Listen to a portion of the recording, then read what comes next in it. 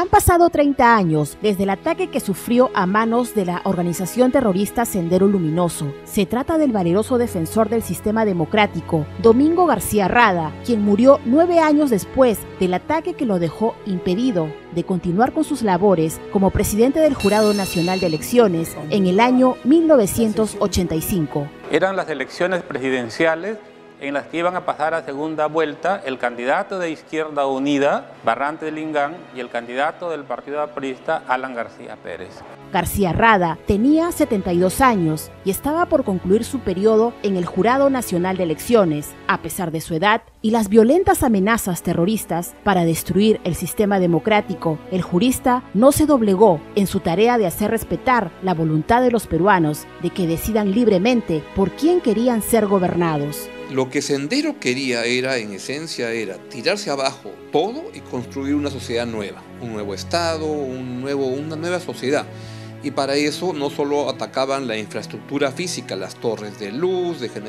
la, de la energía eléctrica, instituciones públicas, lo que también querían atacar era la esencia del sistema democrático y por eso no es casual que el primer atentado que Sendero Luminoso hace es en mayo del año 1980 en Chuchi, cuando queman unas ánforas. Uno de sus hijos, político y congresista de la República, recuerda los momentos de angustia que vivía su familia por temor a que un día su padre no regresara más a casa. Es así que cuenta que García Rada tuvo que realizar cambios en su rutina para desviar la atención de los terroristas, quienes habían realizado reglaje a su domicilio en San Isidro. Después de las elecciones del 24 de abril, días después, él retorna a la casa pensando que ya había pasado todo y reanuda su rutina diaria de ir al jurado entre 8 y 8 y media de la mañana. Y en esa rutina que se había restablecido es que Sendero, como lo explicaron después en algunos cuadernos de tarea de Sendero encontrados en Lurigancho, en la casa de Lurigancho, es que Sendero él vuelve a informarse de que ha vuelto a hacer la misma ruta de siempre y ahí empiezan a preparar el atentado. Segundo Narro Silva, conductor del vehículo oficial y trabajador del Jurado Nacional de Elecciones, pierde la vida en el atentado, mientras que García Rada resulta gravemente herido producto de los impactos de bala en el cuerpo y la cabeza. Pero el doctor García Rada sobrevivió hasta el año 1994, porque falleció el 9 de junio de ese año, casi a los 82 años de edad, dejando una estela de prestigio, como jurista, como magistrado,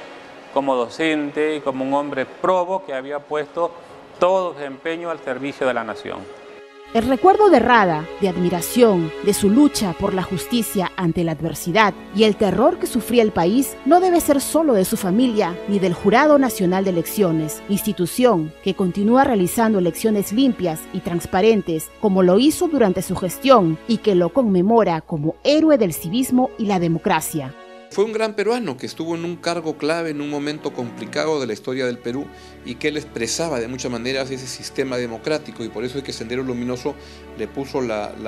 puntería en todos los sentidos este, reales de, dispararle para, para matarlo.